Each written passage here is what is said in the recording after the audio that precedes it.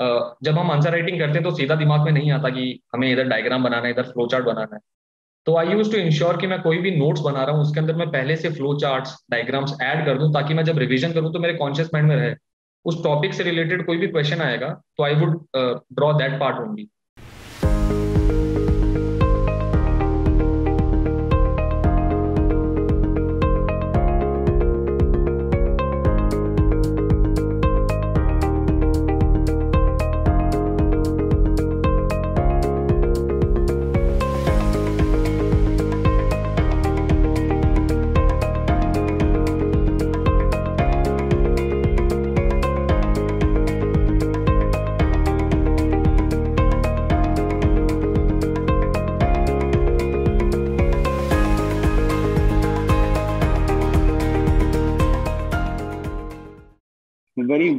warm welcome to you, Jayant. Uh, many, you. congratulations and securing this wonderful rank and getting into the Indian Administrative Service. Jayant, this is a strategy talk, and I'm going to ask you some very minute, some very silly, and some very expected questions. Uh, the kind yes. of questions that probably you had in your mind when you were first preparing for this examination and may not have been able to find answers. So this should yes. help others to. The purpose of this strategy talk is to help people devise their own strategy and know your strategy. Right? Yes. So, James, can you briefly introduce yourself to me and your, you know, telling us your background and your family? So, sir, I belong to Bikaner in Rajasthan. My father is in Rajasthan government and my mother is a housewife. Uh, I have done my schooling till 12th in Bikaner. Then afterwards, I did my graduation in manufacturing engineering from BITS Pilani. I graduated last year. I started my preparation in May 2019 when I was in my fourth year of my college. And this was my first attempt, uh, and my optional was anthropology. So, Jane, uh, a very basic question that comes to the mind of people is that very good academic credentials are needed, which I'm sure you do. Can you tell us how much you scored in that in your 10th and 12th class? That 10th May, my CGPA was 9.8, and 12th May, my percentage was 92%. And yes. what was your CGPA when you passed out of college? BITS Pilani? Uh, it was 6.6. Wonderful. Yes. So what do you think? College ruined you? What went wrong in college from 92% to 6.6%? Sir, during college, uh, मैंने इतना ध्यान नहीं दिया academics पे and I was more into extra co-curricular activities. Like I was in the tennis team of our college and more into organizing fest and all. So उस वजह से मेरा academics पे इतना मैंने उस side पे हो नहीं पाया. So that was the main reason. Uh, Jayant, when you were preparing for the interview, did you have this fear that I have a 6.5 CGPA in college? So if they will ask me about it, what will I say? Sir, thoda bahut tha, but sir, but I had uh, uh, many more things to fill in my diary, especially in the extra co-curricular section. So I prepared an answer on it that uh, I had been more into this side. So itna tha nahi, and even uh, interview में भी पूछा नहीं उन्होंने. So I was, I would say, fortunate. But uh, I would say कि जो लोग की कम है, they should be prepared and they should have an answer on it. Jayant, uh, when did you uh, decide to prepare full time for civil services? Was it since the childhood or was it when you went for your engineering? What was it like? Sir uh, बचपन से था ये क्योंकि my father was in government service तो मुझे बताते रहते थे वो कि आईएएस uh, का एग्जामिनेशन होता है UPSC CSC but it was during my second year of our college when Anudeep Durishetty sir one of our college senior he came to our campus to give a topper's talk and i would say that was a very defining moment. And i also had done an internship in my second year and i decided that i uh, i am not made up for the private sector job. So uh, in 3-1 uh, i uh, in my third year of my college i gave a thought about it and i decided that i'll be preparing uh, for my college itself and i will not be sitting for the placements as well. So that was the time when i decided and my serious preparation started from my fourth year. That was in may 2019 so james you know what earlier we used to as mentors we used to say students that uh, complete your college enjoy your college life build your personality and after that start preparing but increasingly when i'm speaking to younger candidates like you uh, i increasingly see that preparation is now starting from third year fourth year you know starting yes. from third year so for uh, new people who want to prepare for this examination when would you uh, recommend them to start their preparation if they're very clear that civil services is something that they want to do? I would say that uh, if they are very clear in their college itself that they would they want to give this examination and they do not want to do a job unless there is a financial, uh, I would say, compulsion. I would say that you should start from uh, your preparation from your uh, three to that we say th- second semester of our third college.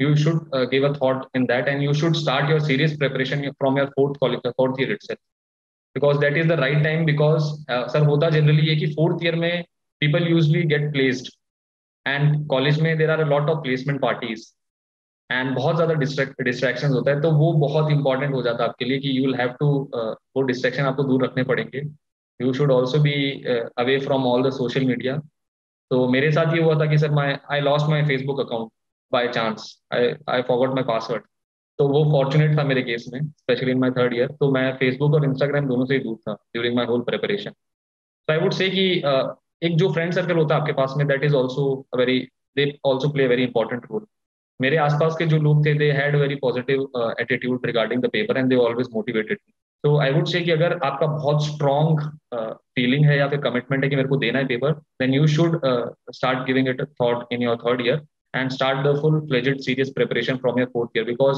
there is no point wasting your time and not sitting for placement taking a drop when you can you have immense opportunity within your college itself BITS में specially sir there is one advantage की जो मेरे seniors थे उन्होंने मेरे को बहुत अच्छे तरीके से गाइड कर दिया था we had all the facilities of library and internet so when you have time you should make full use of it i would say so uh, so when you started like in fourth year what were the first steps that you took towards preparation तो पहले steps क्या थे आपकी तैयारी शुरू करने के? ये सबसे बड़ा सवाल होता है किसी बच्चे के मन में। यस सर सर पहले स्टेप सर ये थे कि थ्री टू में second semester of our third year हमने बहुत ज़्यादा रिसर्च किया था कि पेपर का नेचर कैसा है। दैट uh, मतलब जो एक जनरल टर्म होता है preparation before preparation is also very important तो हमने बहुत सारी टॉक्स देखी we even visited O R N also in daily हमने दो तीन दिन का टूर रखा अपना पूरा देखा और लोगों से भी बात की कि कैसा नेचर है एग्जामिनेशन का। एग्जैक्टली क्या डिमांड रहती है? एंड देन हमने अराउंड फिफ्टीन डेज़ लगाए पूरा रिसर्च करने में even also talking of optional as well कैसे जीएस हमें पढ़ना है? हमने अपने रिसोर्सेज भी डिसाइड किए। And then we ask for the guidance from our seniors as well जब उधर से ग्रीन सिग्नल आ गया then we started off our preparation so कुछ चीज़ें जैसे पीवाई क्यू एनालाइज करना that can be the first major step जहाँ पे आप देख सकते हो कि किस टाइप के क्वेश्चन पूछे जा रहे हैं आपसे। एंड बहुत सारी टॉक्स देखना। मतलब यही बोलूँगा कि टॉक्स देखो। मतलब वो बात होती है कि सुनो सबकी, पर लास्ट में करनी है अपनी नियत में। सबसे एडवाइस ले लो बट लास्ट में अपनी एक यूनिक स्ट्रेटेजी बनाओ। अकॉर्डिंग टू योर एबिलिटी आपका जो पढ़ने का तरीका है। बहुत सारे ब्लॉग्स रहते हैं, जैसे अनुदीप दुरु शेट्टी सर का एक ब्लॉग था। वो बहुत डिटेल में उन्होंने हर चीज़ बताया प्रिपरेशन का। तो that was also very helpful तो ये स्टार्टिंग स्टेप था सर हमारा। वंडरफुल फोरम आई के बारे में सबसे पहले कैसे पता चला? हमारे पास अनुदीप जब आए थे तो चार पाँच अटेम्प्ट लिख कर आए थे। आप बिल्कुल पहले अटेम्प्ट में हमारे पास आ गए which we feel very lucky I mean these days we are having a very first time are also coming to know about Forum I आपको किसने बताया फोरम आई के बारे में? सर, मैंने अनुदीप सर की टॉपर की कॉपीज देखी थी। तो उन्होंने फोरम में बहुत सारे टेस्ट लिखे थे। तो वो मेजर था कि मैंने देखा था कि हाँ ये एक टेस्ट सीरीज़ होती है। देन एक सीनियर थे, उनके थ्रू मुझे पता लगा कि there is an MGP test series जहाँ पे they focus more on the presentation because mains is all about your presenting your answer in front of the examiner तो वो एक major I would say influence था जहाँ पे I decided that I will be joining the test series of Forum and I also then read various toppers testimonial as well and that kind of influence me and I decided कि चलो test series लेते हैं MGB that was the main reason एक honest सवाल आपसे मुझे चाहिए। कि व्हेन वी चूज़ ऑप्शनल तो मैं अधिकतर देखता हूँ कि जो जो सिविल सर्विसेज़ एग्जामिनेशन के आउटसाइड एक्सपर्ट्स हैं वो ये कहते हैं कि ऑप्शन या हमारे पेरेंट्स फॉर दैट मैटर वो कहेंगे ऑप्शनल अपनी रुचि के हिसाब से चुन लो।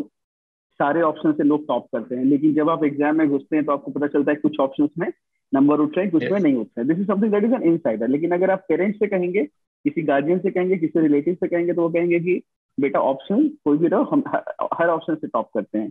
और एक yes. जो है ना एक गाइडेंस या मिस गाइडेंस ये रहती है कि अपनी पसंद के हिसाब से लो ठीक है yes. तो है ना कि मतलब अपनी पसंद और पसंद हो सकता है कि शायद हमने स्कूल में ज्योग्राफी या हिस्ट्री पढ़ी हो हमें एंथ्रोपोलॉजी सोशोलॉजी के तो इंजीनियर्स को तो पता ही नहीं रहता है आपने ऑप्शन yes. कैसे चूज़ किया था सर मेरा बचपन से बहुत इंटरेस्ट था हिस्ट्री और ज्योग्राफी में बट uh, मेरे मेरे पास स्पेसिफिकली टाइम नहीं था इतना प्रिपेयर करने के लिए क्योंकि हिस्ट्री का सिलेबस बहुत बड़ा और हिस्ट्री खुद ही में बहुत ज़्यादा सब्जेक्टिव है मतलब कि बहुत वाइड सिलेबस है।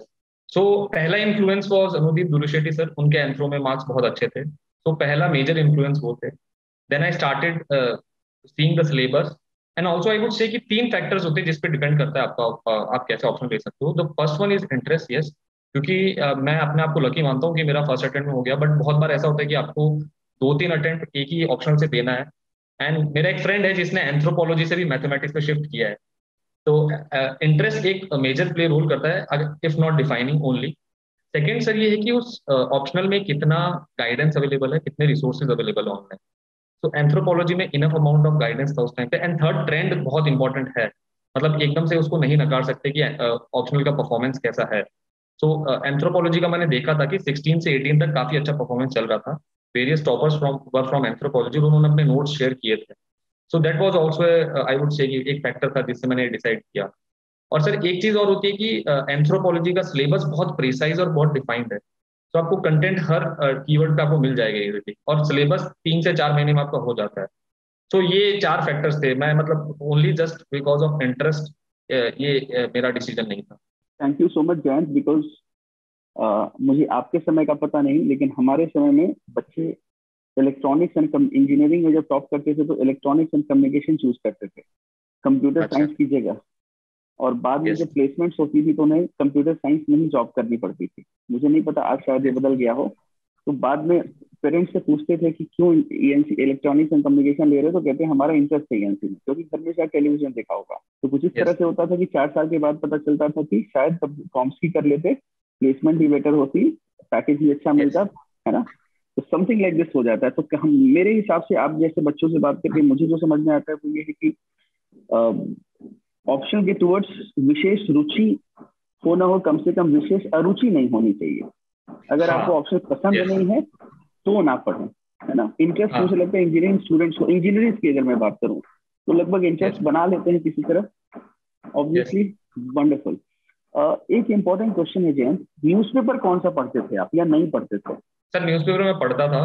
uh, मैंने सर इंडियन एक्सप्रेस फॉलो किया स्टार्टिंग तो हिंदू नहीं पढ़ते थे तो भय नहीं था एक डर नहीं था। Did you not have fear that I am not reading Hindu and everybody is reading Hindu sir मैंने हिंदू थोड़ा ट्राई किया था दो तीन महीने के लिए बट आई फाउंड आउट कि इंडियन uh, एक्सप्रेस का जो कंटेंट रहता है स्पेशली एक्सप्लेन्ड पेज रहता है वो मुझे मोर रेलिवेंट लगा सर प्रेपरेशन के हिसाब से। और थोड़ा मोर बैलेंस अप्रोच भी होती है इंडियन एक्सप्रेस में।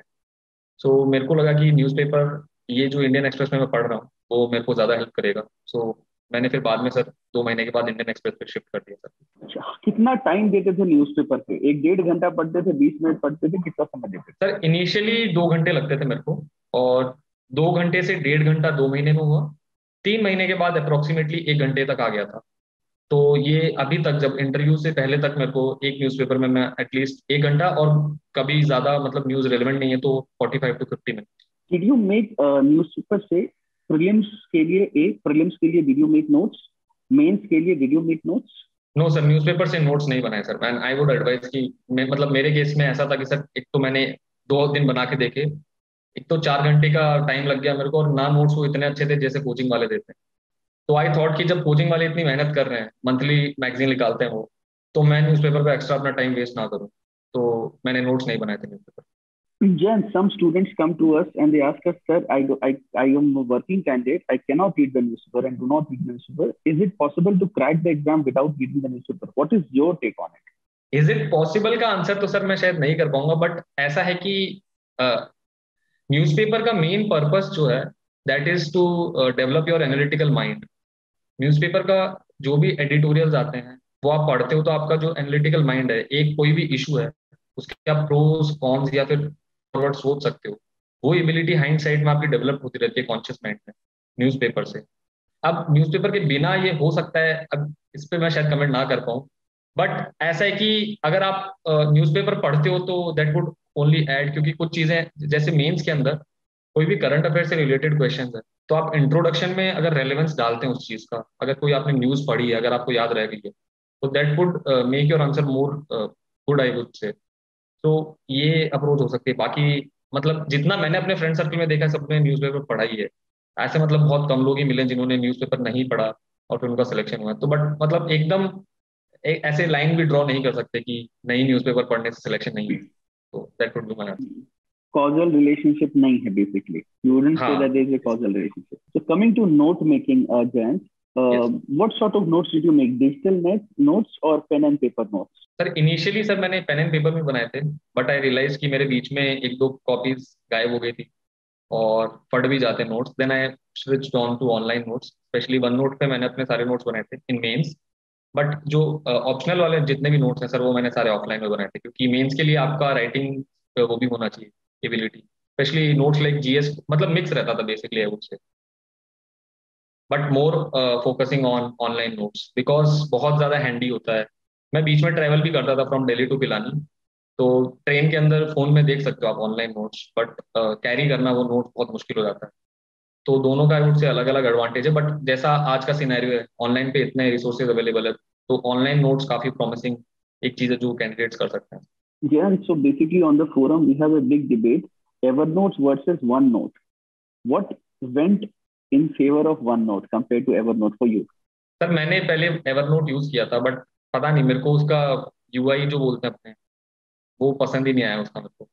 और वन नोट थोड़ा मेरे को काफ़ी सिंपल लगा कि हम डिफरेंट सेक्शन हैं, उसमें नोटबुक के अंदर सेक्शन है, उसके अंदर भी पेज बना सकते हैं। काफ़ी सिंपलिस्टिक लगा तो मैंने वन नोट यूज़ किया। और ऐसा कुछ मतलब हाँ एक रीजन ये भी है कि बिट्स पिलानी में हमारी जो ईमेल आईडी होती है, उसमें we have unlimited subscription of Microsoft तो वो भी एक एडेड एडवांटेज था इसलिए मैंने वन नोट यूज़ किया। जयंत वन नोट में how did you organise your notes like did you have separate notebook for GS 1 2 3 4 और did you have a separate notebook for quality and sections what was the basic organisation structure of your one note for online note making sir ऐसा था कि prelims mains और interview के लिए तीन अलग notebooks थी। फॉर uh, प्रीलिम्स उसमें भी हम सेक्शंस कर सकते हैं हिस्ट्री इकोनॉमी पॉलिटी और उसके अंदर भी अलग अलग पेजेस होते हैं। Same for mains as well उसमें एक नोटबुक थी हमारी। उसमें GS one two three four में अलग अलग सेक्शंस में डिफरेंट पेजेस है। उसके तरीके से हमने ऑर्गेनाइज किया था। And specially in GS four में जो हम टेबल बनाया करते हैं, कि हर कीवर्ड की एक टेबल बना ली, उसका पर्सनल प्लस प्रोफेशनल एग्ज़ाम्पल लिख दिया। वो एक अलग पेज पे बना लिया। तो ये अप्रोच था मतलब कि three different notebooks for three different examination मतलब थ्री डिफरेंट स्टेजेस और उसी के अंदर फिर डिफरेंट सेक्शंस में डिवाइड कर दिया उसको। What was your strategy for note making in pen and paper as well as digital was it in paragraphs descriptive sentences or was it bullets or was it concise? What was what do you think were the two or three properties of the notes you made? Sir my notes were always in point format and मैंने ये ensure किया था कि जो diagram मैं notes के अंदर बना रहा हूँ वैसे के वैसे अगर uh, असली आंसर मैं रेप्लीकेट कर सकूँ। बिकॉज़ uh, जब हम आंसर राइटिंग करते हैं तो सीधा दिमाग में नहीं आता कि हमें इधर डायग्राम बनाना है इधर फ्लो चार्ट बनाना है। तो आई यूज़ टू इंश्योर कि मैं कोई भी नोट्स बना रहा हूँ, उसके अंदर मैं पहले से फ्लो चार्ट डायग्राम्स ऐड कर दूँ ताकि मैं जब रिविजन करूँ तो मेरे कॉन्शियस माइंड में रहे। उस टॉपिक से रिलेटेड कोई भी क्वेश्चन आएगा तो I would draw that part only and हमेशा मैं पॉइंट फॉर्मेट में बनाता था ए फोर पेज पे, अगर पेन एंड पेपर की बात है तो कोई भी एक टॉपिक है, उस पर दो तीन डेटा लिख लिया, उसके प्रोस कॉन्स लिख लिए, कोई कमिटी है तो वो लिख लिए साथ में, अगर कोई कोर्ट बैठ रहा है तो वो भी लिख लो, हालाँकि कंपलसरी नहीं है कोट इतना। कोई डायग्राम उसे, क्योंकि स्पाइडर डायग्राम तो कहीं भी बन जाता है मतलब हर आंसर में बन सकता है। One two three four even optional में भी। तो ऐसे मैं सोचता था कि डायग्राम्स भी तीन, चार तरीके के यूज़ करूँ अलग अलग नोट्स में, ताकि हर आंसर में थोड़ी वेराइटी रहे। तो my notes were of the thing की मैं ये कीपिंग इन माइंड कि मैं जो आंसर राइटिंग करूँगा फाइनली पेपर के अंदर, वैसे के वैसे मेरे नोट्स होने चाहिए। Jayant so in the physical notes, what sort of organization did you have? Did you use loose a4 sheets to make notes? Did you have that spiral based 50 rupees wala to make the notes? Which which book did you have for your offline? Sir A4 sir A4 जो use करते हैं sir loose A4 जो। पूरा जो bundle आता है जेके copier का उसमें ऐसे किया था कि मैंने बहुत सारे फोल्डर्स खरीद लिए थे मार्केट से। जो तो हर फोल्डर में मैंने जैसे जीएस फोर का फोल्डर है तो उसके अंदर मैंने सिर्फ़ जीएस फोर के नोट्स रखे। And within GS one two जैसे बहुत भारी हो जाता है तो उसकी दो तीन नोटबुक रख लो आप। एंड मैंने जैसे एग्रीकल्चर का सेक्शन पूरा डिवाइड कर दिया। तो उसके लिए एक अलग फ़ाइल बना ली मैंने तो इस तरीके से ऑर्गेनाइज किया था सर पूरा right. Now coming to your prelims preparation, Jayant, uh, what yes. were the, some of the basic books? Everybody keeps asking this question. and uh, let us be a little beginner friendly as compared to forum which specializes more in mains so i would say that which are the basic beginner books that you definitely read sir for uh, history firstly लोगों को at least दो reading लगा लो जो eleventh uh, या twelfth की जो NCERT है बिपिन चंद्रा वाली just to get the timeline कि हाँ इस टाइमलाइन में ये ये हुआ है। बट उसके बाद जब प्रीलिम्स के लिए आप तैयारी करोगे तो specifically focus on spectrum spectrum का जो डेटा है वो बहुत अच्छा है स्पेशली जो स्पेक्ट्रम के पीछे टेबल्स है different according to viceroys according to different publication तो ये दो sources for modern Indian history for ancient and medieval मैंने कोई भी एक कोचिंग के नोट्स ले लिए थे अराउंड एटी एटी पेजेस और उसी से फिर मैंने अपने शॉर्ट नोट्स बना लिए थे। Then I use to refer those notes only and for quality Laxmikanth is I think more than enough मतलब वो एक किताब काफ़ी है और उसके मल्टीपल रिविजन बहुत इंपॉर्टेंट है। और इन्वायरमेंट मैंने शंकराइज की थी प्लस मैंने फोरम की रेड बुक भी थोड़ी बहुत मैंने रेफर कर ली थी ताकि जो फोरम वो शंकर आई से दैट उनका पब्लिकेशन सेवनटीन का है। तो मैंने सोचा बीच में जो करंट में जो भी हुआ है उससे मैंने एडिशन कर लिया फ्रॉम फोरम का जो रेड बुक था। एंड साइंस टेक के लिए जस्ट मैंने uh, कोई भी एक कोचिंग का कंपाइलेशन लिया था ईयरली और उससे मैंने नोट्स बना लिए थे सेम फॉर एनवायरमेंट ऑल्सो जो सबके लिए अप्लाई होता है एंड आई में भी सर यही किया था तो मेजर तो यही book list for prelims students generally freshers who have straight passed out of college generally with a 6.6 CGPA so what happens is when they appear for the prelims they read the book once and write the prelims directly so they don't okay. often realize that the number of revisions that is needed for cracking the competitive examination. So let me take it yes. from the horse's mouth. How many times did you revise these basic books? Sir, I would say that, sir, uh, spectrum polity और polity Laxmikanth would be sir around ten to fifteen times sir क्योंकि एक बार में तो समझ ही नहीं आता मतलब क्या हुआ है मतलब क्योंकि इंजीनियरिंग पढ़ा रहता है और ह्यूमैनिटीज पहली बार पढ़ते तो एक बार दो तीन रीडिंग तो बस फेमिलराइज होने में लगते हैं एंड एटलीस्ट आपकी अराउंड uh, मैं तो कहूँगा फिफ्टीन रीडिंग तो ज़रूरी है ताकि वो ब्लूप्रिंट आपके दिमाग में बैठ जाए so, इतने रिविजन तो लगे थे sir Jayant, very minute question that when you read the book for the first time, do you underline it in the first reading or in the second reading? And when do you start committing it to memory? Like if you have to read something like the economic survey or even Lakshmikant, what's your strategy? Do you underline it in the first time or how you just go through? How do you do it? Sir first reading में तो बस casually read करो जैसे एक तरीके से novel पढ़ रहे हो उस तरीके से कुछ अंडरलाइन नहीं करना क्योंकि एक बार मैंने करके देखा था एंडेड अप मतलब मैंने पूरी हाईलाइट ही कर दी थी बुक की क्योंकि उस टाइम नहीं पता रहता what is relevant what is not relevant after two readings आप हाईलाइट कर सकते हो इंपॉर्टेंट जो आपके सेक्शन है। उसके बाद एक बुकमार्क वाली टेक्निक होती है, जहाँ पे आप प्रीवियस ईयर पेपर्स को एनालाइज कीजिए। जो बुकमार्क्स है वो उस उस सेक्शन में लगा दीजिए जहाँ से बहुत क्वेश्चन आ रहे हैं। फॉर एग्ज़ाम्पल डिफरेंट जो एक्ट्स हैं रेगुलेटिंग एक्ट है 1935 का एक्ट है। उन सब का अगर आप नोट्स बना रहे टेबल फॉर्मेट तो दैट वुड बी मेरे हिसाब से बहुत ज़्यादा अच्छा होगा वो। Same goes with different viceroys की जो लिस्ट है। वो भी बहुत इंपॉर्टेंट है तो उस पर आप फिर बुक मार्क लगाना स्टार्ट कीजिए और उससे अगर शॉर्ट फॉर्म में नोट्स बना पाए so that was my strategy but at least दो तीन रीडिंग आप करिए उसके बाद हाईलाइट करना स्टार्ट कीजिए अंडरलाइन करना स्टार्ट कीजिए तो आपको ज़्यादा अच्छे से प्रोडक्टिव होगी वो चीज़ So these basic books, as you said about Lakshmi Kant, Spectrum, uh, the Forum Red book, Shankarai's Environment, did you make notes of these also? You read it directly from the book for the prelims perspective, for the prelims examination? Sir इसमें ऐसा है कि हम लोगों ने group में study किया था एंड मेरा एक फ्रेंड है उसने पूरे जितनी भी बुक्स है उसके नोट्स बना लिए थे। तो मैंने बस उसी के नोट्स पढ़े थे। एंड अभी हम टेलीग्राम ग्रुप बना रहे हैं उसमें हम अपने नोट्स शेयर कर देंगे। उसने सब कुछ क्वालिटी हिस्ट्री हर चीज़ से नोट्स बना लिए थे और मैं फिर उसमें ऐड ही करता था। जैसे पीटी से ऐड कर दिया रेड बुक से ऐड कर दिया। सो so, जो बेस था वो ऐसा था कि सबका क्रक्स क्योंकि ऐसा हुआ था सर कि मार्च में लॉकडाउन लग गया था। और हम सब लोग घर पे आ गए थे और हमारी सारी बुक्स आइधर डेली थी या पिलानी थी तो कोई ऑप्शन ही नहीं था हमारे पास। तो उसने वापस सारे नोट्स बनाए इन ऑनलाइन फॉर्मेट एंड फिर हमने फिर हम सबने हमारे दोस्तों में से कोई रेफर किया। तो मेजर यही था मतलब स्ट्रैटेजी तो आई वुड से कि अगर आप इनके नोट्स बना पाए तो ठीक है बट लक्ष्मीकांत के नोट्स बनाने इज़ क्वाइट टूटल क्योंकि इतनी बड़ी बुक है आप एक और खुद की लक्ष्मीकांत ही बना दोगे। तो हाईलाइट uh, कर सकते हो उसको। स्पेक्ट्रम के जो स्पेसिफिक पार्ट्स है लाइक सोशियो रिफॉर्म मूवमेंट्स जहाँ से क्वेश्चन बन सकते हैं लाइक डिफरेंट एक्ट्स है डिफरेंट कमिटीज है उनके 15 टू 20 पेज के अगर नोट्स बना लोगे तो वो क्विक रिवाइज के लिए काम आ जाएँगे क्योंकि पेपर से एक दिन पहले आपके पास टाइम नहीं होगा कि आप पूरी स्पेक्ट्रम पढ़ो या पूरी लक्ष्मीकांत पढ़ो। इवन पॉलिटी के अंदर भी जो डिफरेंट कॉन्स्टिट्यूशनल बॉडीज उनकी भी आप टेबल बना सकते हो अलग से। डिफरेंट फंडामेंटल राइट तो चलो सबको याद हो जाता है बट डिफरेंट जो सेक्शंस uh, है जैसे डीपीएसपी में कौन सा सेक्शन है कौन से सेक्शन में क्या है गवर्नर की क्या पावर छोटे में अगर आप बना लो तो that would be I would say more efficient in the prelims examination, a key question is that how many questions should one attempt? So, what was your strategy? Did you go with some strategy, or did you decide it on the basis of the paper you saw? Or what is your take? So, for prelims, uh, in a group we did more than 100 plus mocks before actual prelims. Our major strategy was कि अच्छे से एक बार practice करना है because the uh, optimum amount of questions is also very important. मेरी strategy ये थी कि मेरी एक्यूरेसी सर इतनी अच्छी नहीं थी। तो मेरा ये था कि हर बार मैं जितने ज़्यादा क्वेश्चन अटेम्प्ट करूँ, उतना फ़ायदा है। तो माई स्ट्रेटेजी वॉज़ कि I would be attempting between 90 to 95 question actual paper में भी मैंने 93 अटेम्प्ट किए थे।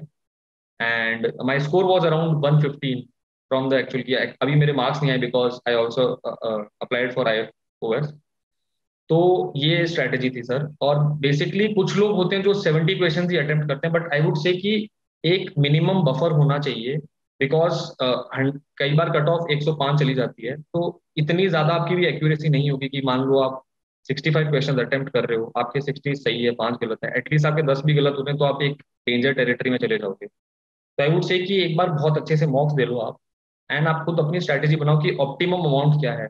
जनरली पीपल से कि 85 टू 95 के बीच में सही रहता है अटेम्प्ट करना। तो ये एक स्ट्रेटेजी थी जो मैं सोचे गया था पहले से कि पेपर कितना भी टफ है कैसा भी है मेरे को at least ninety two ninety five तो करनी Can people say that the UPSC is a very unpredictable examination? Thankfully, you have not been a victim of it.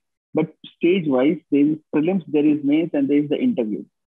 Uh, what do you think is the most predictable phase, and which one is the most unpredictable according to you? Sir, most unpredictable would be interview, and I would say, sir, most predictable would be mains, and most most tricky would be prelims. Okay. Now, one very common question that comes to students is when they are left with two options. Yes. All right. So when you were left with two options, what was your strategy to deal with it? Sir मेरा ये था कि if you are left with two option, I would be attempting that. मतलब अगर उसमें risk लेना है तो ले सकते हो बिकॉज़ रिवॉर्ड्स बहुत ज़्यादा हैं और बहुत सारे तीन चार क्वेश्चंस थे जिसमें फिफ्टी फिफ्टी का सिचुएशन हो गया था और ऐसा हुआ कि अल्टीमेटली जब मैंने देखा कि मेरा क्या स्कोर है तो उसमें मैं पॉजिटिव में ही था तो ये तो मतलब रिस्क वाली बात है। ना डिसाइडेड कि जब मैं फिफ्टी फिफ्टी की सिचुएशन में होंगे तो आई वुड बी अटेम्प्टिंग अगर मैं आगे नहीं भी देख पा रहा कि अगर उन दोनों में से कौन सा सही है तो I would take a guess so strategy यही था मेरा Jain what was your bubbling strategy there two questions I one is that did you bubble as you went or did you finish an iteration and bubble or did you leave it to bubble at the end and second is which pen did you use for bubbling your answers Sir, I uh, I used throughout the process mains में भी Butterflow use किया था and in the prelims as well and मैंने एक bubble गलत भी भर दिया था। तो आई वुड से कि मेरा स्ट्रेटेजी ये था कि थ्री राउंड्स वाला जो टेक्निक रहता है एक घंटे पहले मैंने क्वेश्चन सॉल्व किए सवा एक घंटे तक। फिर after one hour fifteen minutes मैंने फ़र्स्ट राउंड की जो बबलिंग है वो पूरी कर ली। तो आई वुड से कि एकदम लास्ट में कभी बबल मत करना क्योंकि बहुत पैनिक सिचुएशन होता है उस टाइम पे। और आपका कुछ ना कुछ गलत हो जाएगा। तो after I did my first bubbling after one hour fifteen minutes उसके बाद मैंने सेकेंड राउंड के क्वेश्चन जब सॉल्व कर रहा था तो मैं सिर्फ़ एक पेज के साथ साथ इन्वॉल्व कर रहा था। फॉर एग्ज़ाम्पल एक पेज पर अगर आठ क्वेश्चन है, जिनमें से मैंने चार मैंने पहले के लिए छोड़ दिए थे तो वो मैं चारों अगर कर देता हूँ तो फिर मैं एक साथ बबल कर लूँगा ये स्ट्रेटेजी और थर्ड राउंड जो लास्ट में राउंड होता है, वो जो होता है गेस वाला की फिफ्टी फिफ्टी टाइप क्वेश्चन है, वो before ten minutes ten minutes के बाद जब तक पेपर एंड हो रहा है, जब तक आप फिर बबल साथ ही में करते Coming to the prelims CSAT paper, a lot of people think that as engineers, you do not need to do anything. You can simply walk in and write CSAT. And it works for some people. And sometimes you have seen, I have often seen some brilliant people from even the IIT, they flunk in the CSAT paper and they don't confess for a very long time. People koi manega nahi. And everybody will, you know, it looks like a fool if you're from a, you're a decently good engineer and you flunk the CSAT paper. So did you prepare for the CSAT or not? You just walked into the exam. Sir I personally didn't prepare उसके लिए ऐसा कुछ तैयारी नहीं किया था but मैंने around four to five papers दिए थे before actual prelims to make sure कि थोड़ा साइकोलॉजिकल रहता है कि और फिर मेरे मैंने देखा कि स्कोर कंफर्टेबली काफ़ी ऊपर है तो मैंने ज़्यादा उस पर थॉट नहीं दिया बट मैंने sir at least four to five paper solve किए थे before my actual prelims of C SAT but ऐसे सर ऐसे एग्जैक्ट कोई प्रेपरेशन नहीं किया था सर उसका। So Jayant, uh, can you tell me before the prelims? It's a very stressful time, like including right now. अभी मेरे ख्याल से prelims के लिए पढ़ ही रहे होगे जब result आ गया होगा. Uh, what was your strategy for prelims? Just one month before the prelims, what strategy did you have for prelims? And what was your day like? सुबह कितने बजे उठते थे कितने बजे सोते थे और कितने घंटे पढ़ते थे sir before one month I made sure कि मैं सुबह अपना साइकिल चेंज कर ले रहा हूँ दो महीने पहले मैं थोड़ा लेट सोता था और लेट उठता था around nine to ten but मैंने एक महीने पहले ये इंश्योर किया कि मैं एटलीस्ट साढ़े छः सात बजे उठ जाऊँ कंफर्टेबली ताकि मेरा दिमाग नौ बजे तक एकदम पीक पे हो, काम करना चालू कर दे, क्योंकि एक्चुअल प्रिलिम साढ़े नौ बजे होता है। तो ये चीज़ की थी और सुबह वही है कि मतलब बिफोर प्रिलिम्स आपको एट टू टेन आवर्स देने ही पड़ेंगे स्टडी को इवन मोर अगर आप दे सकते हो। और I use to give every day a test वही मतलब कभी nine thirty to eleven thirty के अगर शिफ्ट में दे रहे हैं तो इट्स वेल एंड गुड नहीं तो एक टेस्ट तो आप दो एटलीस्ट रोज का।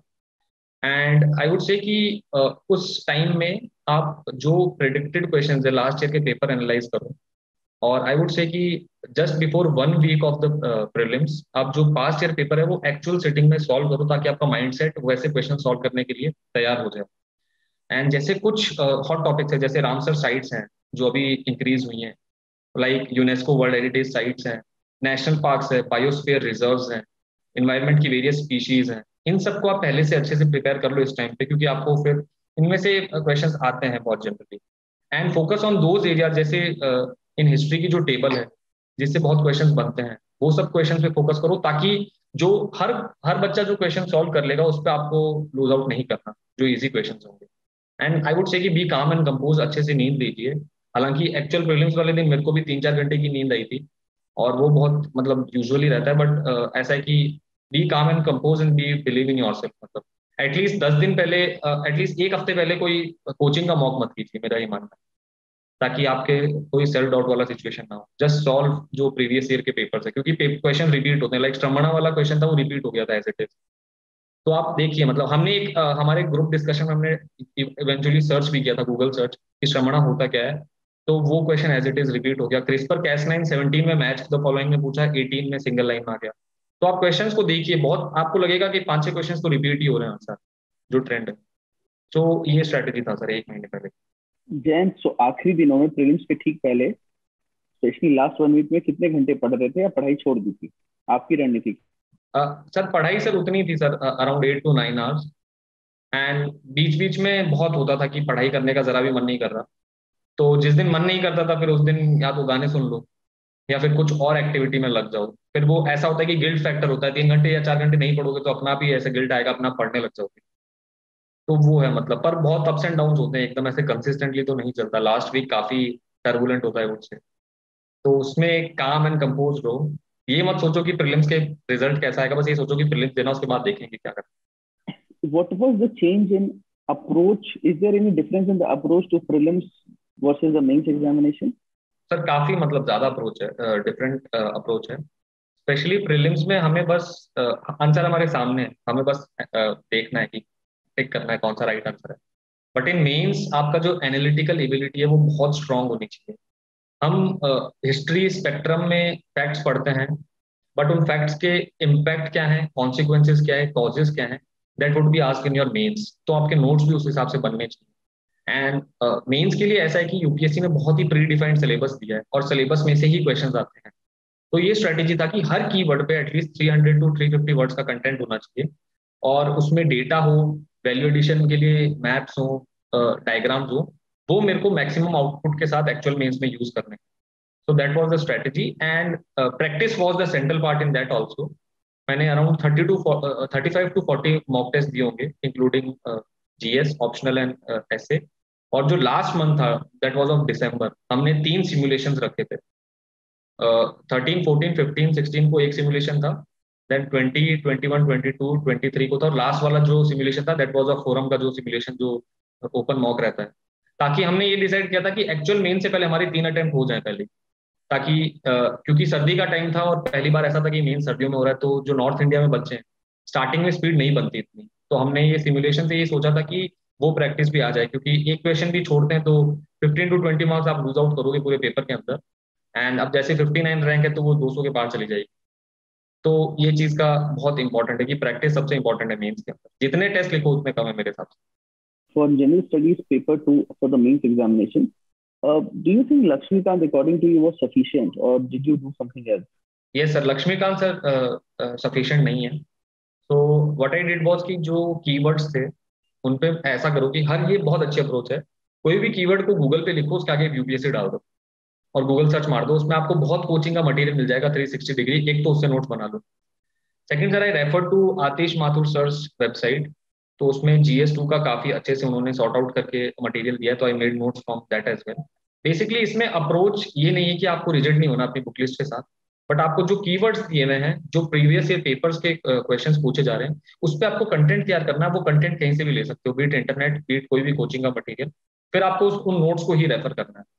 So that was my main approach and कोई भी जजमेंट्स है जो आप अपने आंसर्स में यूज़ कर सकते हो, जो भी फॉर्डर मटेरियल है बीट वैल्यू एडिशन जो आप टेस्ट सीरीज़ से भी आप ले रहे हैं तो वो सब भी आप अलग से नोट्स में ऐड कर सकते हैं। James in particular general studies paper four में दो पार्ट्स हैं, एक तो थ्योरी पार्ट है और दूसरा केस स्टडीज़ पार्ट है। तो इसके लिए दोनों के लिए आपका क्या अप्रोच रहा था? सर फ़र्स्ट पार्ट के लिए हर कीवर्ड की जो टेबल बनाया करते हैं अपने की कीवर्ड का डेफिनेशन कीवर्ड का impact and usefulness in administration के चार पाँच points professional example and personal example तो around sixty to seventy words की हम मैंने और मेरे दोस्त ने की एक पूरी टेबल बना ली थी।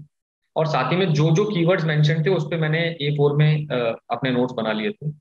और मैं बस उन्हीं को रिवाइज कर रहा था बार बार मैंने कोई स्पेसिफिक बुक रेफर नहीं की। और आई वुड से कि एग्जाम्पल्स में specifically you can quote the examples from Ramayana and Mahabharata वो काफ़ी इम्पैक्टफुल एग्जाम्पल्स होते हैं। और जैसे फॉर एग्ज़ाम्पल बहुत सारे बड़ी बड़ी ऑर्गेनाइजेशन उनके संस्कृत में श्लोक्स भी दिए हैं। जैसे लबासना का है ज्ञानम प्रणम भूषणम। Character is the highest virtue ऐसा करके कुछ है शायद। तो वो वो सब चीज़ें भी आप लिख सकते हो। वो मतलब मेरे हिसाब से और अच्छी होंगी। तो ऐसे कुछ श्लोक आप ले लीजिए चार पाँच और कोई भी क्वेश्चन आए be it character be it morality उनके कंक्लूजन या इंट्रोडक्शन में आप लिखेंगे तो आपका वैल्यू एडिशन होगा। तो पेपर वन के लिए तो सर यही था मोर और लेस केस स्टडी के लिए ये था कि जो फिक्स फॉर्मेट रहता है कि स्टेक होल्डर्स इंट्रोडक्शन जो टॉपर्स की कॉपीज है, उनको देख के ये अप्रोच था कि उस हिसाब से लिखना। Even in case studies also I use to quote Mahatma Gandhi के जो कोट्स हैं, या फिर अलग अलग जो बड़े बड़े लोग हैं उनके कोट्स हैं, ताकि वैल्यू एडिशन हो जाए सब। सो जैन आपको did you ever face the challenge of finishing the paper paper छूटने का चैलेंज आया था एग्ज़ाम में? या टेस्ट में for that matter test sir I would say कि मैंने जो अपना पहला टेस्ट लिखा था, उसमें मेरे को साढ़े चार घंटे लिखे लगे थे। जो एम का एमजीबी का मैंने पहला एथिक्स का टेस्ट लिखा था इन जून 2020 और वो इवेंचुअली जो लास्ट सिमुलेशन तक था, वो थ्री आवर्स के आसपास आ गया था और मेरा एक्चुअल पेपर में जीएस फोर का छूटने के बहुत चांसेस थे। लास्ट के पंद्रह मिनट बचे थे एंड मैंने कोटेशन वाले सवाल है। वो पंद्रह मिनट में तीनों सवाल लिखे थे। एंड वो, अब मैं वही कहूँगा कि जो फ़िज़िकल एक्सरसाइज हमने दिसंबर में की थी सिमुलेशन के दौरान, बहुत बार उसमें ऐसा होता था कि लास्ट तीन दस मिनट में हमको दो क्वेश्चन लिखने रहते थे। तो वो प्रेशर में हमने जब प्रैक्टिस की थी, वो बहुत काम आई एक्चुअल अपने एग्ज़ाम के अंदर। इवन इन ऑप्शनल ऑल्सो एक क्वेश्चन छूटते छूटते बच गया था। और वो भी प्रैक्टिस के कारण था कि लास्ट में स्पीड बहुत तेज हो जाती है अपना जब हम टाइम देखते हैं। और मैंने ये इंश्योर किया था कि जब टाइम नहीं बचेगा तो आई वुड यूज़ डायग्राम्स सीधा पॉइंट्स में भी नहीं लिखने की कोई ज़रूरत नहीं है बस स्पाइडर वेब बनाया उसमें पॉइंट्स लिख दिए छह सात और अगले पेज पे भी पॉइंट्स लिख दिए ताकि आपको एटलीस्ट उस पर टेन में से थ्री या चार नंबर मिल जाए आपको। तो ये था मेजर जयंत ऐसे के लिए did you do any specific preparation for essay what was your primary I think you were a part of MGP plus जिसमें जीएस और ऐसे दोनों रहते हैं राइट यस तो आपने क्या क्या फोरम का क्या मटेरियल या फिर अदरवाइज़ कैसे ऐसे की क्या तैयार how did you go about the essay paper sir the first thing that I did was कि प्रीवियस ईयर जो पेपर्स थे उनको मैंने देखा कि जो कॉमन टॉपिक्स है जैसे health education science and technology international relation उस पर मैंने एक और पे नोट्स बना लिए। और अनुदीप दुरु शेट्टी सर का एक डॉक्यूमेंट है जिसमें उन्होंने बहुत सारे प्रिवलेंट टॉपिक्स उनके क्लिस दे रखी है। तो उन पे आप कंटेंट तैयार कर सकते हैं। फोरम में मैं जब भी कोई भी फिलोसफिकल ऐसे लिखता था तो मेरे को बहुत शौक था फिलोसफिकल ऐसे का क्योंकि वो बहुत आपको स्कोप देता है एनेक्डोट्स देने का क्रिएटिविटी रखने का कोर्स रखने का। तो मैं जो भी एग्ज़ाम्पल फॉर्डर मटेरियल के तौर पे मिलता था फोरम के अंदर I use to add it in my notes so एक तो ये स्ट्रेटेजी था। On focus on content enrichment जो मैंने फिर फोरम का एमजीपी प्लस से जो फॉर्डर मटेरियल मिलता था उससे किया। So that was my main strategy मुझे जहाँ तक याद है कि ये सारे थीमेटिक एसेज के टेस्ट भी हुए थे जिसमें थीम वाइज कुछ कुछ दिया हुआ था इन थीम्स को लेकर। यस सर ऐसा रहता था कि एक ऐसे तो फिलोसफिकल रहता ही था। दूसरा जो जीएस थीम है उसके ऊपर फोरम में रहता था। तो उससे दोनों ही कवर हो जाते थे। क्योंकि इस बार तो पार्ट ए में कोई ऑप्शन ही नहीं था सिर्फ़ फिलोसफिकल ही ऐसे थे। तो वो बहुत हेल्प किया था उधर स्पेशली जो एग्जाम्पल्स दिए गए थे। एक चीज़ बताइएगा जैन जब हम when we prepare for civil services no yes. happens is most of us have written essay in school and some of us yes. are very good with essay. and uh, probably because it's your first attempt now in the upsc there is a completely different approach to be very honest with respect to essay writing so are you aware of this difference yeah sir you were not aware matlab, and did you did you did you hear anything like this and did you feel it or did you acclimatize yourself to it the difference sir, initially sir मेरा हाँ sir मेरा flow इतना अच्छा नहीं था ऐसे का initially और काफी डिसकंटिन्यूस मैनर में लिखता था मैं तो मैंने अनुदीप सर के कॉपीज देखी थी, विक्रम रेवल सर की कॉपीज देखी थी, उनसे मैंने स्ट्रेटेजी बनाई थी कि स्टार्टिंग विद एन एनेक्डोट क्योंकि कोर्ट का ऐसा रहता है, बहुत फ्यूटाइल रहता है, याद ही नहीं आता कोर्ट एग्ज़ाम के प्रेशर के अंदर। बट मैंने कुछ ऐसी एनेक्डोट्स पहले से ही प्रिपेयर कर ली थी दैट आई वुड यूज़ और एक जो अप्रोच रहती है पॉलिटिकल इकोनॉमिक जो वेरियस डायमेंशन के अंदर हम अपने एसेज को लिखते हैं, वो अप्रोच रखी थी। बट सर इनिशियली जैसे आपने बोला कि स्कूल के अंदर हमें जो ऐसे लिखने पड़ते हैं। वैसी मेरी अप्रोच थी। और मैंने दो तीन ऐसे लिखने के बाद in M G P I realize की मेरे को अप्रोच में थोड़ा चेंज लाना पड़ेगा। एंड फिर मैंने उस हिसाब से अपना अप्रोच को ट्वीट किया। जी एंड वैसे तो एक क्लास हुई थी जो मुझे याद है कि फिलोसफिकल एसएससी मैंने भी करी होगी। इसको ऐसे yes, sir, yes, लेकिन आपका फिर भी उसमें उस ज़रूर कुछ बिल्डअप किया होगा। Young people like always buildup आपका ब्रॉड अप्रोच क्या था फिलोसफिकल ऐसे के लिए? दो तीन पॉइंट्स अगर बता पाएँगे। हाँ सर ब्रॉड अप्रोच यही था कि फर्स्टली आप उस ऐसे को पॉइंट्स या पार्ट्स में ब्रेक कर दो कि जो वो पूछना चाह रहे हैं। और अगर आप उसको फर्स्टली आई वुड से कि कोई भी ऐसे हो स्पोर्ट्स को अगर आप एनिकडोट से यू विल स्टार्ट तो बहुत अच्छा आपको स्ट्रॉन्ग एक वो मूवमेंट मैं कहूँगा कि स्टार्ट मिलेगा। और जो बात होती है first impression is last impression वाली कि वो एक बहुत एग्जामिनर के ऊपर एक बहुत अच्छी छाप छोड़ देगा।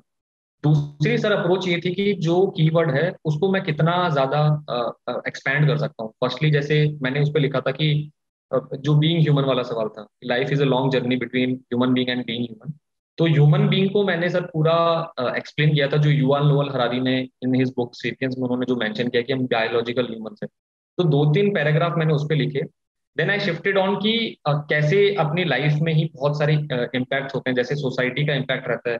फैमिली का इम्पैक्ट रहता है रिलीजन का क्या इम्पैक्ट रहता है अपनी वैल्यूज़ पे? And then I put on की बीइंग ह्यूमन क्या है? क्योंकि एग्जामिनर को नहीं पता कि मतलब ही वुड नो कि बीइंग ह्यूमन कैंडिडेट के डेफिनेशन में क्या है? तो फिर मैंने बीइंग ह्यूमन को पूरा अच्छे से एकदम एक्सप्लेन किया। एंड मैंने बहुत एग्जाम्पल्स यूज़ किए थे। तो मेरा एनेक्डोट जो था, मैंने महात्मा गांधी से स्टार्ट किया था एनेक्डोट अपना। एंड मैंने उसमें बहुत एग्ज़ाम्पल दिए थे। और फिर मैंने एक डायमेंशन ये भी ऐड कर दिया था कि इन ह्यूमन क्या होता है मतलब? तो इन ह्यूमन में मैंने हिटलर का जो कंसंट्रेशन कैंप्स वाला है, वैसा एग्ज़ाम्पल भी दिए ताकि एक बहुत ब्रॉड डायमेंशन बन जाए पूरे ऐसे के अंदर। एंड जो कंक्लूड हम जैसे करते हैं कि बींग ह्यूमन के लिए हमें क्या क्या वैल्यूज़ लानी पड़ेगी। तो वैसे मैंने कंक्लूड किया और एंडिंग में मैंने एक पोयम प्रिपेयर करके रखी थी पहले से कि कोई भी ऐसा आएगा, मैं पोयम तो लिखूँगा ही। और वो ऐसी पोयम थी जो कहीं भी फिट हो जाती है जनरली वो एग्जैक्टली अभी मेरे को याद नहीं आ रही। मैं अपने जो टेलीग्राम पर पोस्ट में डाल दूँगा मैं। तो वो पोयम के साथ मैंने एंड किया। एंड वो जो एक वो पोयम है, रविंद्रनाथ टैगोर जी की and the mind is without fear उसके भी मैंने दो तीन जो लाइन है, वो मैंने बीच में डाल दी। तो ऐसे फिर मेरा, ऐसे भी एंड हो गया। तो वही है कि स्ट्रॉन्ग स्टार्ट और स्ट्रॉन्ग एंड का बहुत इंपॉर्टेंस है फिलोसफिकल एसेज में। एंड एज आई सेड की क्रिएटिविटी की बहुत ज़्यादा वो रहती है मतलब स्कोप रहती है। आप कहीं भी कुछ भी यूज़ कर सकते हैं।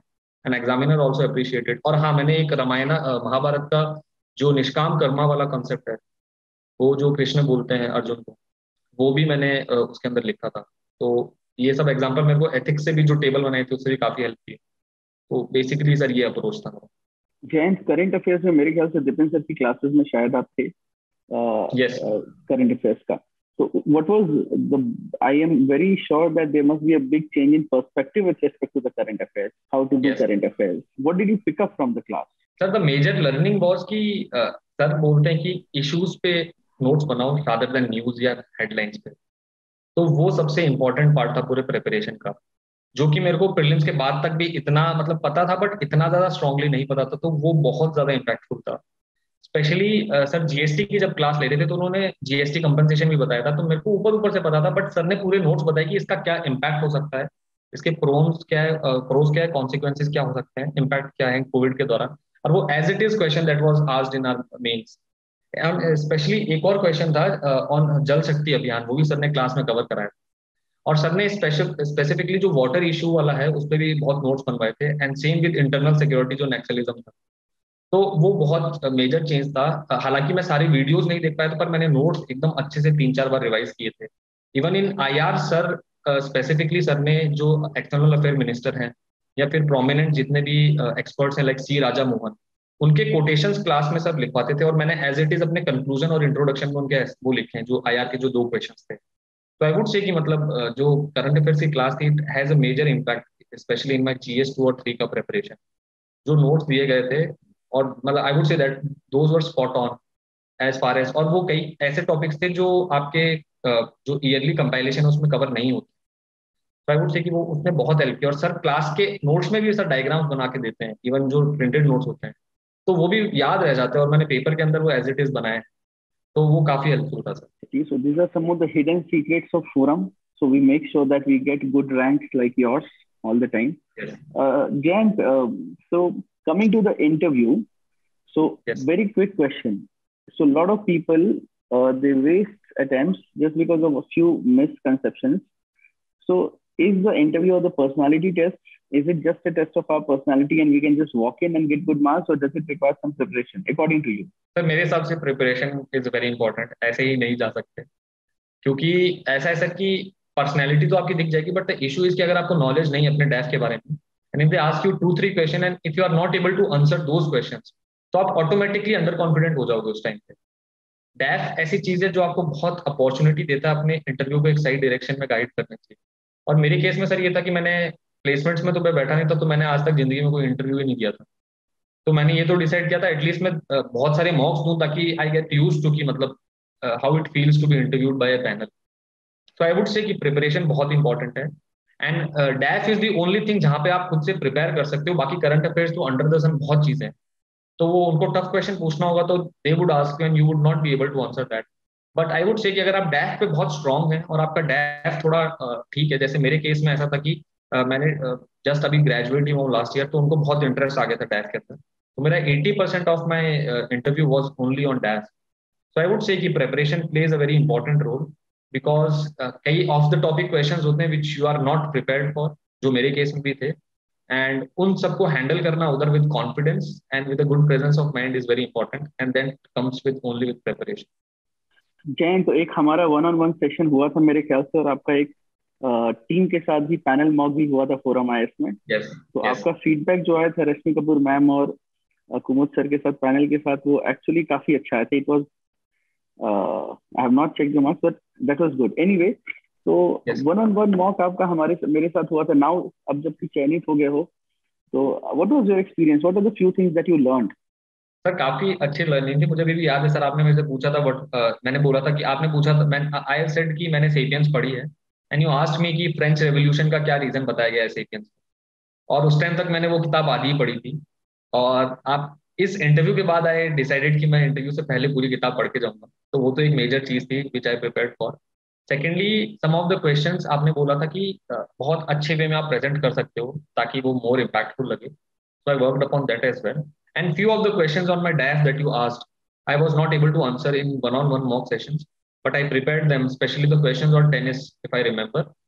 मैंने फिर वो प्रिपेयर किए थे and that was very helpful in my actual interview because एक मेंबर बहुत ज्यादा इंटरेस्टेड थे टेनिस के अंदर and he asked me three four questions on that so that was very helpful So Jay, thank you for making it very clear that interview does require some sort of preparation because every year we have very wonderful students who score very high marks in MGB mains or CA students, and then interview they just walk in, and then it's yes. uh, most of the time when somebody meets me in the second or third attempt, I ask them what happened in the first attempt. तो उनका एक ही जवाब रहता है मुझे पता नहीं था कि इंटरव्यू की भी तैयारी करनी पड़ती है so that's anyway and I am very sure because आपका मैंने जो ऑन सेशन लिया था वो काफी पहले लिया था मतलब स्टार्टिंग uh, yes. में ही लिया था मेरे ख्याल से it was wonderful anyway what was the most difficult question they asked you in the interview and how did you handle it sir last question जो था सर कि so he the panel asked me कि what are your plans after interview so my answer was that this is the first time my parents have visited uh, Delhi. So we'll be visiting India Gate. So UPSC is in proximity to India Gate.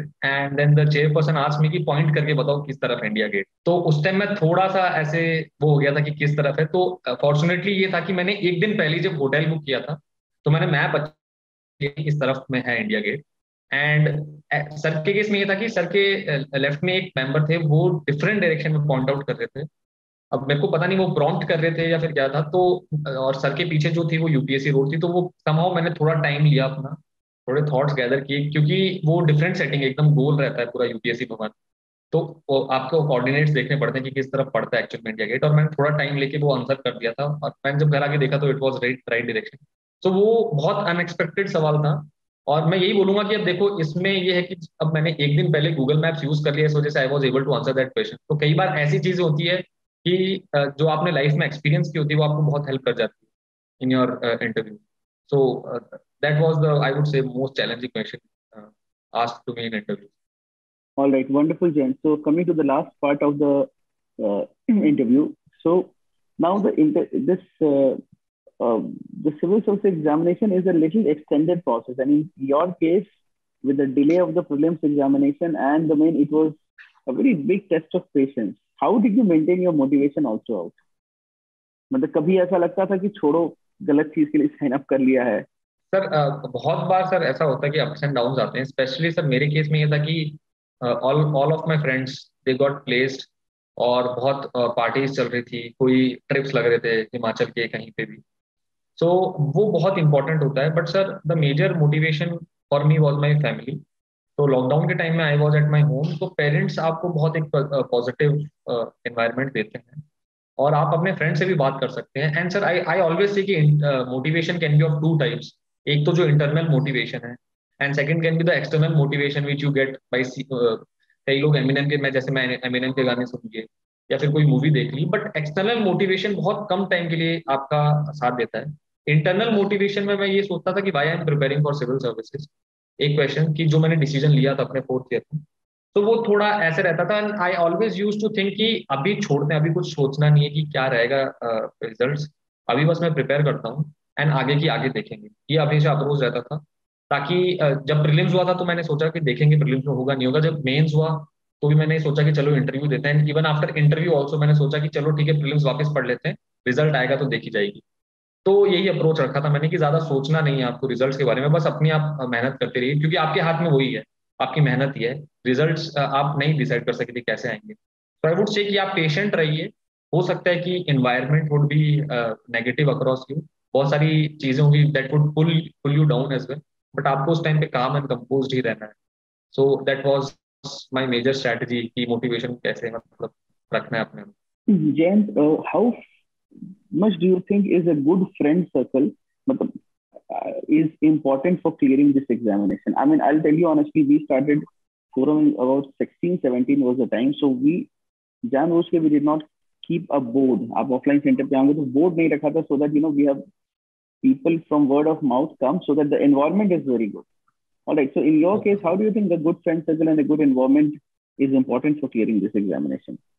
Sir, I would say कि अगर अच्छा friend circle है जो लोग serious preparation करते हैं तो बहुत ज़्यादा एडवांटेज आपके लिए। मेरे केस में मेरी 59 है मेरा एक फ्रेंड है A I R one zero four Rishabh Kumar उसकी आई है वन ज़ीरो फोर एक मेरे सीनियर है बिट्स के वो भी हमारे ग्रुप में थे। He got rank three twenty और ऑल्सो दो लोग और हैं जो मेरे जो मेरा दूसरा ग्रुप था उसमें भी थे। तो इट ऑल डिपेंड्स कि आप आपके फ्रेंड सर्कल्स कैसे हैं। अगर आपके पास बहुत सीरियस फ्रेंड्स हैं तो बहुत ज़्यादा हेल्पफुल होता है वो प्रिपरेशन के दौरान। क्योंकि दोस्त होते हैं तो एक सेंस ऑफ़ कॉम्पिटिशन आता ही आता है। सो फॉर एग्ज़ाम्पल अगर मेरा दोस्त एक दिन में दो टेस्ट लिख रहा है तो, तो मेरे अंदर अपना आप ऐसे गिल्ट आएगा कि मुझे भी देना चाहिए। सो वो अल्टीमेटली एक पॉजिटिव स्पिरिट पैदा करता है कॉम्पिटिशन पैदा करता है। एंड ऑल्सो जो लोग डिफरेंट आइडियाज़ के एक साथ डिस्कशन करते हैं तो आपके आंसर में भी एनरिचमेंट आता है। सो so, मैं वही बोलूँगा सर इट ऑल डिपेंड्स क्योंकि ग्रुप स्टडी नहीं किया हमने कभी भी।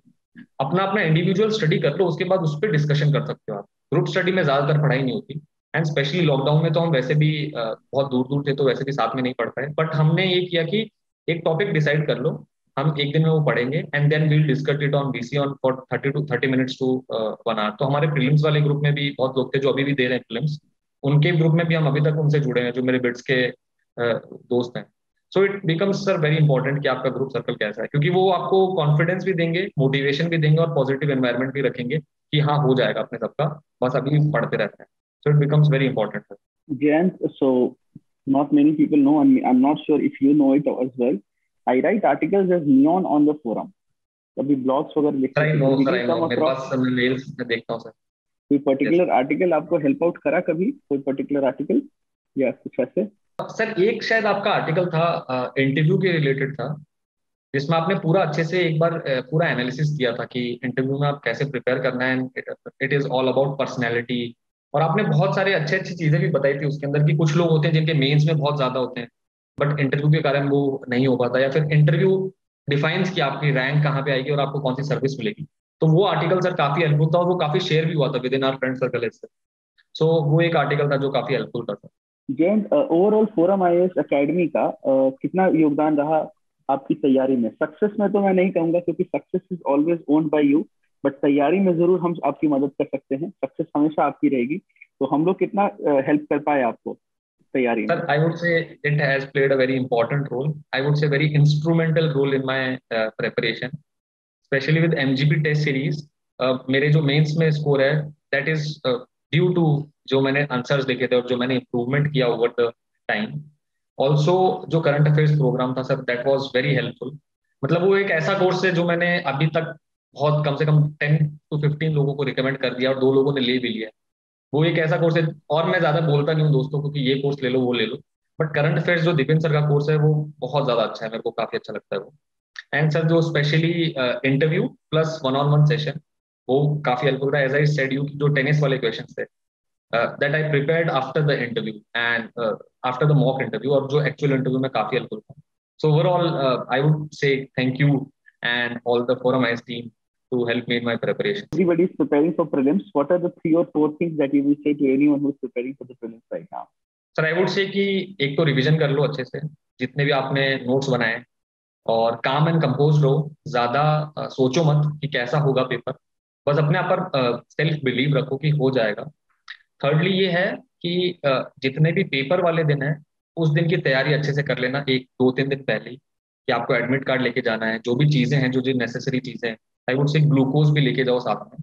And be prepare for other things as well because हमारे प्रिलिम्स के टाइम पे साइड में कंस्ट्रक्शन चल रहा था तो आधे घंटे तक बहुत शोर हो रहा था. तो ऐसी सिचुएशंस के लिए भी रेडी रहना कि कई बार ऐसा होता है टेबल के अंदर छेद होते हैं तो आपकी ओएमआर भी पड़ जाती है. तो वो सब चीज़ें भी आपको अच्छे से ध्यान में रखनी है. स्पेशली प्रिपेयर दो टॉपिक्स जिन पे बहुत क्वेश्चन आ सकते हैं और जो आप इजीली प्रिपेयर कर सकते हो, जैसे मैपिंग वाला पोर्शन है, जो बहुत हाई स्कोरिंग रहता है. Ramsar sites as I said environment के करंट अफेयर्स है वो सब करो। और प्रीवियस ईयर पेपर्स का सिमुलेशन कर लो मैं ये कह रहा हूँ। दो तीन एक्चुअल यूपीएससी के जो आपके वो हैं पेपर्स प्रीलिम्स के उसकी आंसर के इसके साथ प्रॉपर ओएमआर में भर लो उसको। इवन तो आपने किए हैं फिर भी कर लो ताकि आपका माइंड सेट बन जाए उस पेपर की तरह। और बाकी ये कहूँगा कि थोड़ा चिल भी करो रिलैक्स रहो थोड़ा और ज़्यादा सोचो मत कि रिजल्ट्स क्या रहे। Like Jain thank you so much it has been wonderful interacting with you और पिछले साल मेरे को याद है काफ़ी सारे बच्चे राजस्थान से थे। आई थिंक इस बार भी राजस्थान से काफ़ी अच्छे सिलेक्शन रहे हैं। और yes, फोरम से स्पेशली मुझे याद है काफ़ी बच्चों का हमने भी साक्षात्कार किया है और मेंस के समय काफ़ी जुड़े थे it was wonderful interacting with you and uh, may god bless you and thank you sir may Thanks you have everything thank else thank you so much thanks